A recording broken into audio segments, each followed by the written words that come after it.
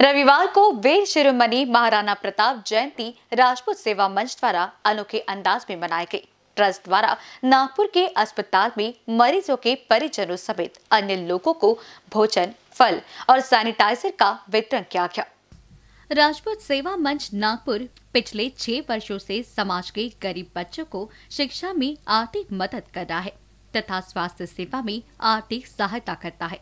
उसी प्रकार देश में तथा प्रदेश में नैसर्गिक आपदा आने पर हर प्रकार की सहायता हेतु तत्पर रहता है।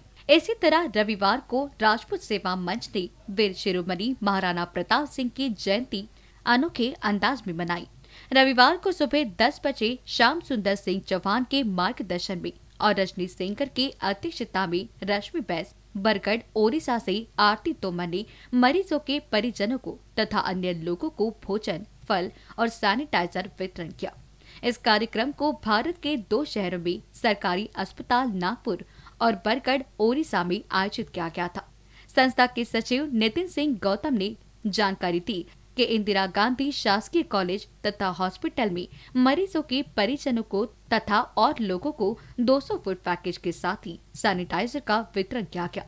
इस आयोजन में संजय सिंह, रितेश सिंह, गजफा, राकेश सिंह ऋषिराज सिंह गहलोत की अहम भूमिका रही।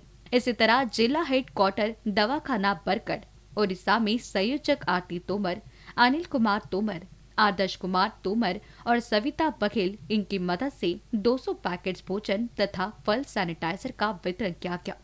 बीसीएन न्यूज़ के लिए एकता गहरवाल की रिपोर्ट।